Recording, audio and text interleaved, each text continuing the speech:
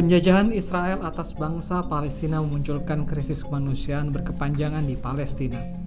Apalagi sejak gerakan Great Return March dicanangkan 30 Maret 2018 lalu. GRM adalah perlawanan rakyat Palestina untuk merebut tanah kelahiran mereka. Aksi rakyat Palestina ini kerap dihadapi Israel dengan kekerasan. Ratusan rakyat Palestina syahid dan puluhan ribu lainnya luka-luka baik berat maupun ringan. Kabar perjuangan bangsa Palestina itu menyebar ke seluruh penjuru dunia. Termasuk ke Batu Sangkar, sebuah kota kecil di Sumatera Barat. Penderitaan bangsa Palestina itu mengetuk hati seorang bocah cilik berusia 8 tahun, Gania Yumna, yang akrab dipanggil Icik. Tak hanya prihatin, Icik pun tergerak untuk membantu penderitaan rakyat Palestina. Pada momen jelang Hari Raya Kurban, Icik menyumbangkan tabungannya senilai 5 juta rupiah untuk berkurban di Palestina. Uang itu hasil berjualan permen dan origami di sekolahnya ditambah uang jajan. kan uh, yang di kantor harus standby dia Ini berapa kali kita lewat situ? Jadi Sabtu Minggu bagus tuh kan? Icik punya alasan kuat mengapa sangat ingin berbuat untuk bangsa Palestina. Karena di Palestina lah letak Masjid Al-Quds kiblat pertama umat muslim. Kedua orang tua Icik mendukung semangat Icik menyumbang untuk Palestina.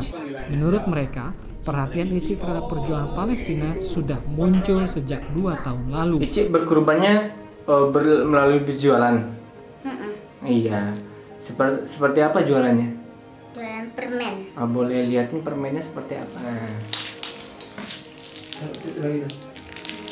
Itu permen itu Icik jual di mana? di sekolah Di sekolah. Itu gimana berjualannya? Di dibungkus pakai kertas origami. Oh, dibungkus pakai kertas origami. Ah, awalnya karena kita bercerita banyak hal ya tentang Rasulullah, tentang sahabat-sahabat Rasulullah, tentang segala sesuatunya lah. Ah, awalnya tentang kiblat kiblat umat Muslim sebelum pindah ke Ka'bah. Ah, itu kan akut. Dia tanya, bisa nggak kita ke sana Mbeno? Ya bisa gitu kan, cuma syaratnya harus 30 juz menghafal. Tuh dia sekarang rajin eh, sering bertanya apa yang bisa dia lakukan terhadap Palestina untuk saat ini. Hmm. Nah, kalau saat ini kalau kita ke sana dia nangis sering kenapa Ici kok enggak besar-besar gitu kok kecil lama besarnya gitu kan ya sudahlah sekarang Ici ya yang bisa Ici bantu adalah mendoakan sama ah, mungkin apa deh Ikut ya. Korban. Ini korban pertama Ici ya Palestina. Iya, bukan Ya. bersama Ici di Palestina. Hmm.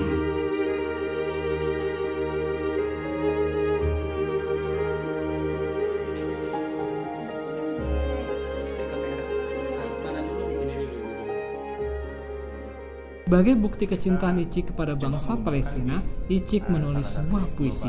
Inilah puisinya. Assalamualaikum Palestina, ini Ici dari Indonesia. Jangan kau takut pada Israel itu. Mereka sebenarnya kan per- mereka penakut. Mereka berani karena ada senjata. Kalian berani karena ada Allah. Allah jauh lebih kuat dari Israel. Percayalah, Allah akan membantu kalian. Batu yang kalian lempar bukan sembarang batu biasa, melainkan batu yang didiamkan di api neraka beribu beribu-ribu tahun namanya. Makanya Israel takut pada kalian dan aku akan terus membantu kalian. Aku akan terus menabung demi kalian. Jangan bersedih Palestina.